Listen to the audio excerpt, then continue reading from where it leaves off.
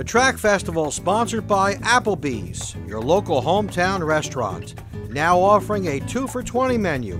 Applebee's, involved in the communities they serve. Please visit Applebee's on Park Drive in Newton.